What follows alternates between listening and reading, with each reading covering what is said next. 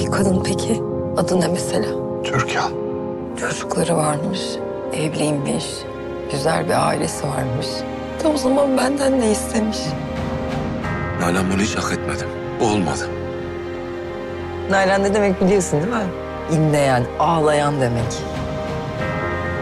Kim bilir daha neler vardır benden saklanan.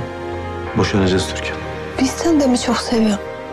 Kalabalık bir ailenin parçasıymış gibi hissetmeye çok ihtiyacım var. Sedat Nalan'a binlerce kere ihanet etmişken Nalan ona bir şans verdiyse belki bana da verir. Ben bitti demeden bitmez. Hayri Nalan seninle ilgili defteri kapattı. Sen benden daha büyük bir korkaksın. Tam bir fiyaskosun.